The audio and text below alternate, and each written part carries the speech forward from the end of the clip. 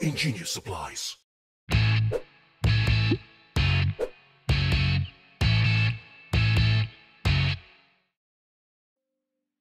And we are back. This week we're playing a rematch of the last spell table game that we played.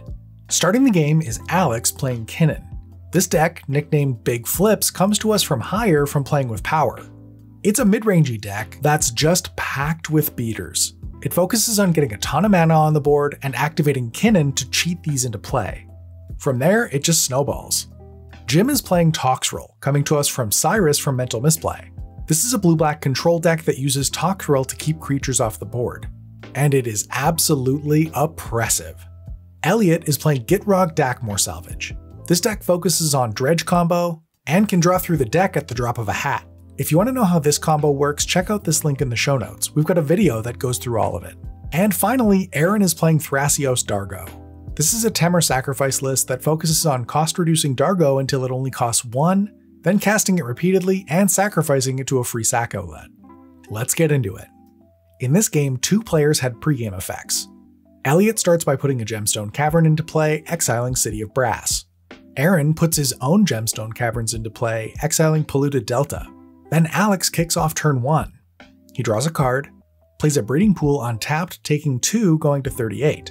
Then he casts Chrome Mox, exiling Koma. He uses this 2 mana to cast Kinnan, and when it resolves, he passes. Jim draws a card, plays a Murkwater Pathway, and casts a Mana Vault, then passes the turn. Eliot draws a card, plays a Mana Confluence, and casts a Mana Crypt. He then casts a Mana Vault, and Jim responds by paying 2 life to cast Mental Misstep. This counters the Mana Vault.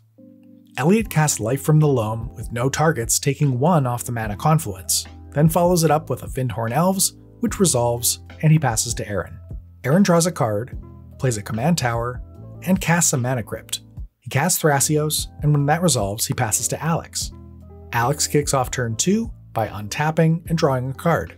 He plays Exotic Orchard as his land for turn, then moves to combat. He swings Kinnan at Jim. There's no blocks, so Jim takes 2 going to 36. Then Alex passes. Jim untaps and draws a card. He plays a Polluted Delta as his land for turn, then passes. Eliot untaps, and in his upkeep, he flips for Mana Crypt and takes no damage. Before moving to his draw step, Alex casts Force of Vigor targeting Eliot's Mana Crypt and Aaron's Mana Crypt, destroying both of them. Eliot draws for turn, and with a mostly empty hand, he's got not much to do, so he passes to Aaron. Aaron untaps, draws a card for turn, and casts Phantasmal Image. It resolves and enters as Kinnan. He casts a Chrome Mox, exiling Force of Will, then moves to combat. He swings Thrasios at Alex, and there's no blocks, so Alex takes 1 going to 37. In his post-combat main, he casts Grim Monolith, then passes to Alex. On turn 3, Alex untaps and draws a card. He plays an island and casts a Bloom Tender. He moves to combat, swinging Kinnan at Jim. There's no blocks, and Jim takes 2 going to 34, then Alex passes. Jim untaps, draws a card, and plays a Sunken Ruins. Jim moves to his end step, and Eliot casts Vampiric Tutor. Jim responds by cracking Polluted Delta going to 33, grabbing an Underground Sea. Still in response to the Vampiric Tutor, Jim flashes in Opposition Agent. It resolves, and with the Vampiric Tutor still on the stack, Eliot casts Assassin's Trophy targeting Opposition Agent, taking 1 off the Mana Confluence. Assassin's Trophy resolves, and Jim gets a basic island into play. Then the Vampiric Tutor resolves, and Eliot takes 2 going to 36, and searches up a card to put on top of his library. Jim continues to pass the turn. Eliot untaps, draws a card, and plays a Crystal Vein as his land for turn. He sacks it to add 2 colorless, then casts Gitrog taking 1 off the mana confluence. Gitrog resolves, and he passes. Aaron untaps and draws a card. He casts Jessica's Will targeting Jim, which resolves. Jim has 4 cards in hand, so Aaron makes 4 red. He exiles the top 3 cards of his library, which are Underworld Breach, Taiga, and Mindbreak Trap. He plays the Taiga, then casts the Underworld Breach, and it resolves. He casts Birds of Paradise. He floats 4 colorless off of Grim Monolith, and casts Dargo, sacrificing Birds of Paradise, Chrome Mox, and Grim Monolith. At this point, he's got a red and 4 colorless floating. He casts Jessica's Will from his graveyard, targeting Jim. He makes 4 more red, and exiles Force of Negation, Finale of Devastation, and Bloom Tender off the top of his library. He casts the Bloom Tender, then activates Thrasios, scrying 1 to the top, and reveals Arid Mesa. He puts it into play tapped. He moves to combat, swinging Thrasios at Jim. There's no blocks, so Jim goes to 32, then Aaron passes. Alex untaps and draws a card. He plays Gemstone Caverns, then passes to Jim. Jim untaps, draws a card, and casts Toxrill. It resolves. Jim tries to move to his end step, but at the end of his pre-combat main phase, Alex overloads Cyclonic Rift. It resolves, and Jim passes. Eliot untaps, and elects to dredge life from the loam. Eliot mills Misty Rainforest, Deathrite Shaman, and peer into the abyss. He casts Life from the Loam, targeting Misty Rainforest and Crystal Vein, taking 1 damage off Mana Confluence. He plays a Misty Rainforest, cracking it going to 33, and grabs a Bayou. He casts Fyndhorn Elves, and when that resolves, he passes. Aaron untaps and draws a card. He cracks the Arid Mesa going to 39, grabbing Volcanic Island. He casts Thrasios, then follows it up with a Bloom Tender, and passes. On turn 5, Alex untaps and draws a card. He casts Seedborn Muse, when it resolves, he passes. Jim untaps and draws a card, then recasts his mana vault. He casts Dark Ritual. Alex responds by casting Force of Negation, pitching Consecrated Sphinx. Jim responds to that by casting Flusterstorm, with all copies targeting Force of Negation. The Flusterstorm counters Force of Negation, and Dark Ritual resolves adding 3 black. Jim casts Toxrill. He tries to move to the end step, and again at the end of Jim's post-combat main phase, Alex has action. This time he activates Kinnan, looks at the top 5, and puts Kogla into play. It enters the battlefield and fights Toxrill. They both go to the graveyard, and Jim continues passing the turn. Eliot untaps and dredges life from the loam.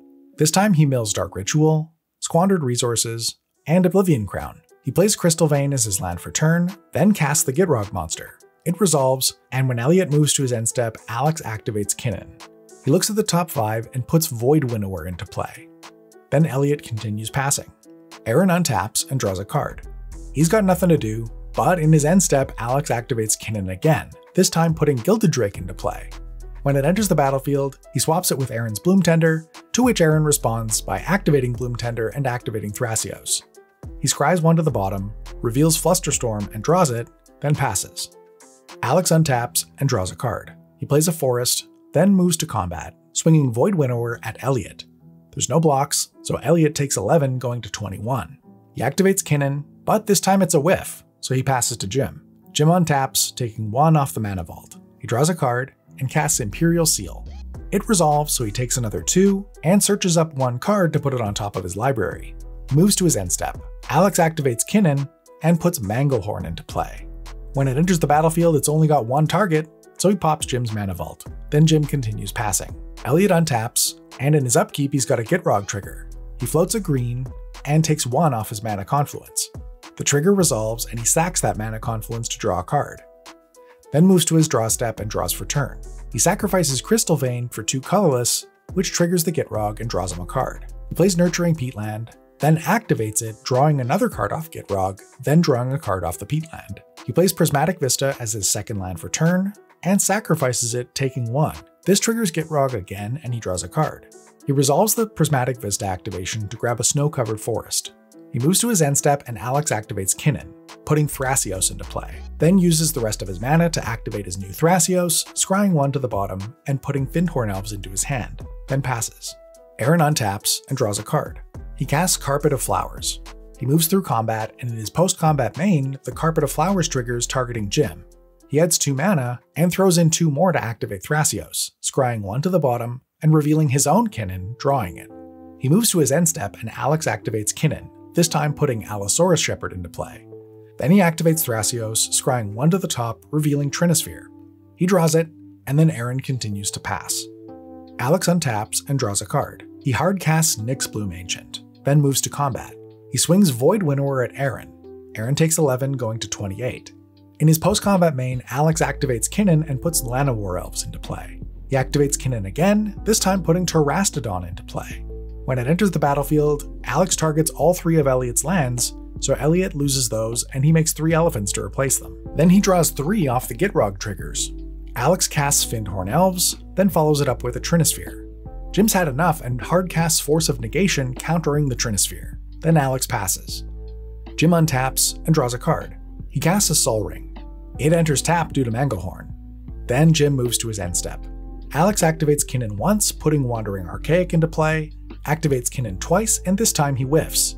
He activates Kinnan a third time, putting Kira Great Glass Spinner into play. He activates Kinnan a fourth time and puts Llawan Cephalid Empress into play. It enters the battlefield and returns all blue creatures to their owner's hand. Then he activates Kinnan one last time and puts Phantasmal Image into play as a copy of Nyxbloom Ancient, because he needed more mana. Then Jim continues to pass the turn. Eliot untaps, and in his upkeep, he has to sacrifice the Gitrog monster to its own ability because he's got no more lands left. He draws for turn, plays a Verdant Catacombs, and moves to his end step.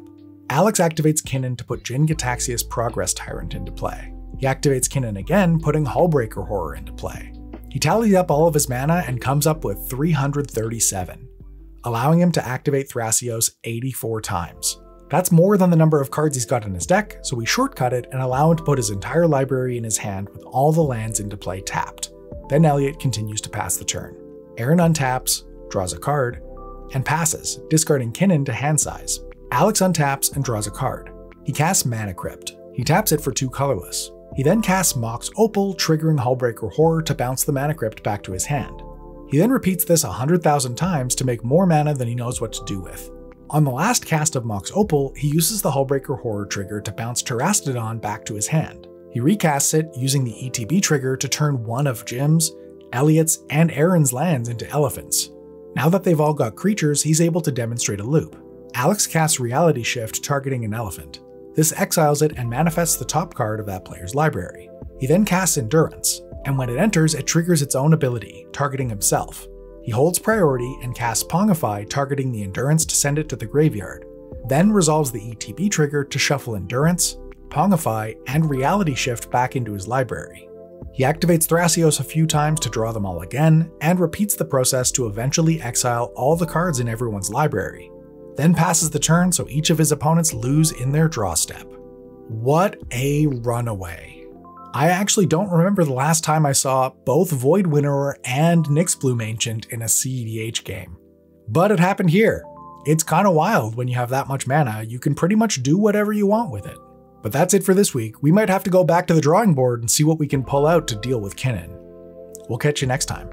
I want to give a huge shout out to all of our Patreon supporters, especially those on the screen right now. The support you give us helps us keep the lights on and keeps us making cool content like this every week. Thank you. Thank you, thank you, thank you, thank you. And with that, thanks for checking us out, and we'll catch you next time.